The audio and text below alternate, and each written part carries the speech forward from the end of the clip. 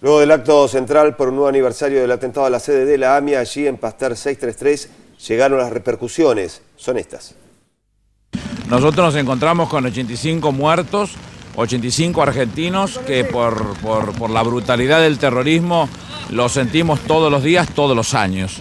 La responsabilidad que tenemos es de seguir ahondando, trabajando fuertemente, colaborando con la Fiscalía, con la justicia, porque no hay otra salida que no sea por la justicia y la ley.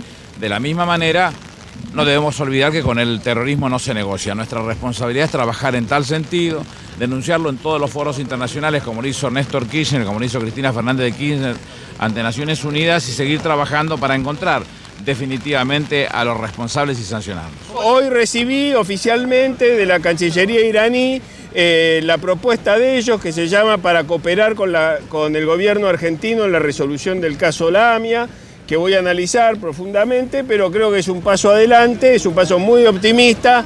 Eh, hemos buscado eh, o hemos esperado durante muchos años que Irán entienda que nosotros no nos vamos a apartar del camino de la justicia y que ellos van a tener que asumir ese, ese, camino. Y hoy, bueno, eh, vemos como con mucho auspicio este anuncio que ha hecho Irán, yo voy a esperar a que ellos se contacten con nosotros, pero ya nos han hecho llegar oficialmente la propuesta de, de colaborar.